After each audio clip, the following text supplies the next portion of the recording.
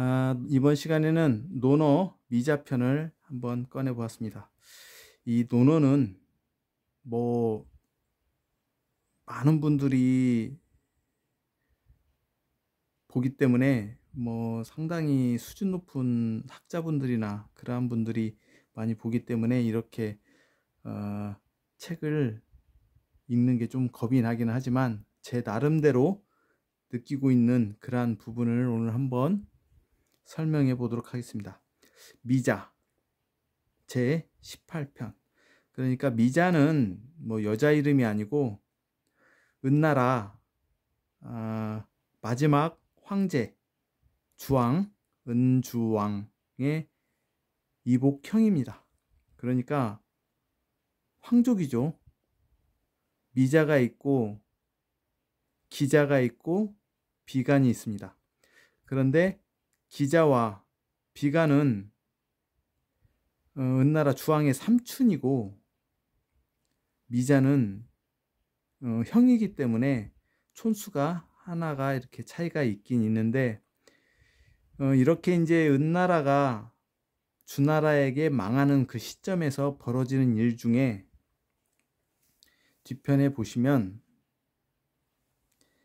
어, 태사, 지, 적재하고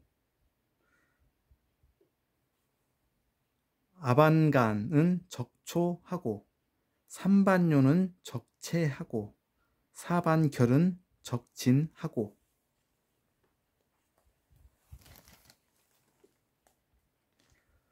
고방숙은 입어하하고 반고무는 입어한하고.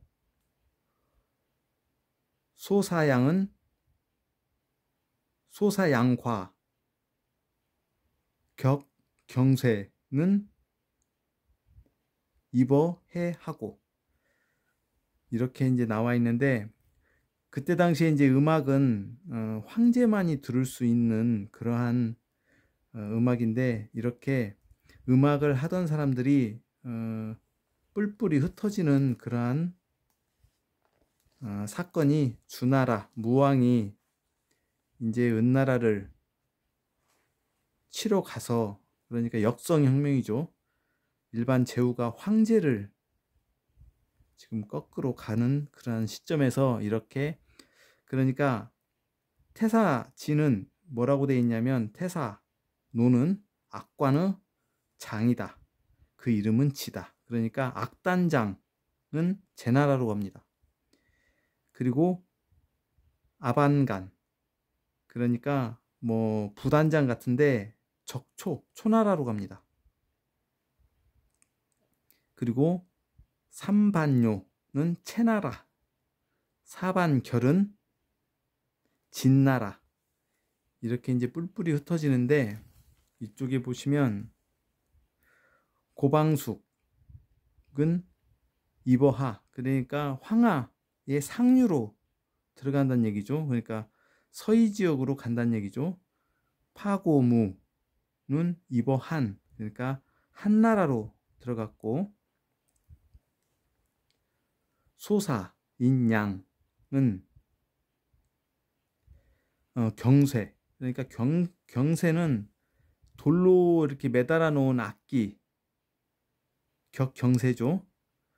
그 돌로 매달은 악기를 가지고 그러니까 종묘 제례악을 할 때 그 돌이나 그 옥으로 된 그러한 것들을 매달아서 이렇게 어, 때려서 연주하는 건데 이버하 아, 이버해 해는 우리 한반도로 왔다라는 얘기거든요. 그러니까 대부분 이버해 하다 하면은 한반도로 왔다라고 보시면 되는데 어, 이 돌로 만든 경쇠는 어, 하던 사람들은 한반도로 들어왔다라고 이렇게 되어 있네요.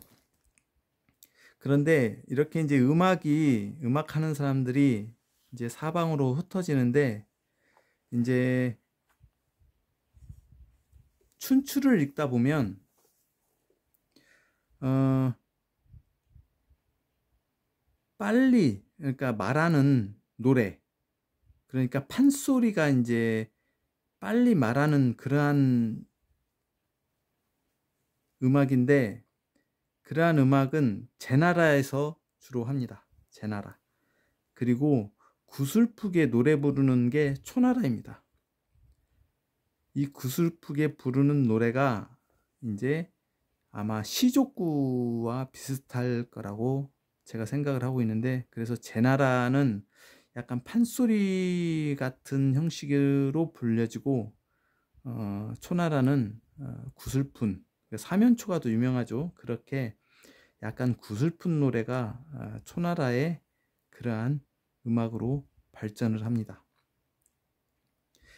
어, 그러면 왜 이제 주나라가 은나라를 정벌을 할 때 왜 그러한 역성 혁명이 되느냐 하면은 어, 기자역대 그러니까 문성 태조대왕. 성은 자. 이름은 서여이다. 그러니까 이제 자서여라는 사람이 이제 한반도로 들어오거든요. 그런데 이 주나라는 성이 여기에도 보시면 사략인데 은나라 왕 성탕 그러니까 이제 은나라 시조죠 성이 자씨이다로 되어 있습니다. 그리고 주나라를 한번 보면 주나라 무왕은 성이 희씨다.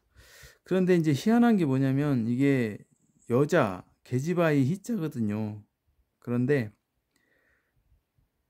주나라의 왕족의 성은 히씨인데 그 히씨가 이제 여씨 항약을 보면 이 여씨로 되거든요. 그래서 어, 진시황의 아버지가 여부리인데 그 여씨가 보통 성씨가 아니고 주나라 황실의 성씨가 바로 여씨입니다. 그러니까 하나라는 해씨. 어, 그때 당시에는 한문이 없었기 때문에 순 소리글로 해서 태양을 뜻하는 해씨이고 그 다음에 은나라는 자씨. 자축인묘 할 때 그 우두머리 자씨가 어, 은나라의 대표적인 성씨이고 주나라는 음, 희씨인데 나중에 여씨로 바뀌는 그러한 성씨. 그러니까 해씨와 자씨는 같은 혈족인데 주나라는 다른 혈족으로서 역성 혁명을 일으켜서 이 동의의 그 역사가 무너지고 서희의 역사가 되는 그러한 시점이 어, 어, 이렇게 알 수가 있습니다. 미자편을 보면서 이렇게 어, 음악이 어, 각국으로 흩어지면서 나타나는 현상을 그러니까 그 노래의 특성을 이러한 악단들이 어디로 갔냐에 따라서 알 수가 있을 것 같습니다. 그리고 미자 그러니까 이 부분 한번 읽어보면 미자는 거지하고 그러니까 미자는 그때 당시에 제사장이었던 것 같아요. 이 사람이 제기를 들고 한무제 아니 어, 주무 주무왕한테 가게 됩니다. 그리고 기자는 어, 노예가 되고 비가는 가나다 죽는다. 비가는 약간 유학자의 성품이 있어서 어, 주왕에게 직관을 하다가 어, 심장이 도련해지는 그러한 죽음을 당하는 그러한 비간 어, 아마도 유학자의 시조일 거라고 보여지는 그러한 인물입니다. 미자편. 미자편은 어, 고대사의 약간의 그러한 내용을 담고 있기 때문에 고대사에 대한 그러한 의문점이 있으면 이 미자편을 보면은 어, 조금은 어, 알수 있는 그러한 음, 대목이기도 합니다. 논어를 보면서 어, 미자편에 대해서 한번 설명해 보았습니다.